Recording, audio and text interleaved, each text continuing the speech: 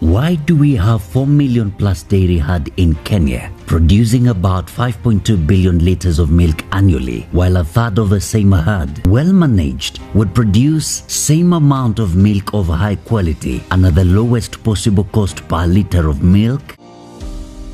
The best time for doing this was 50 years ago. The next best time to do it is now. Tanolope is your dairy partner. Visit our website www.stanolopi.com.